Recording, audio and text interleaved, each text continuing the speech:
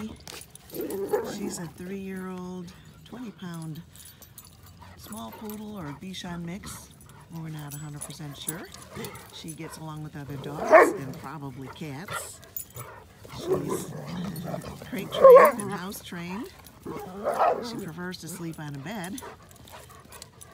She's up to her rabies. She's fixed. She, you can see she doesn't mind big dogs running around her. She does uh, bark a little when she first meets a dog, but after that, all is good. This is Dixie. She's a real sweetheart.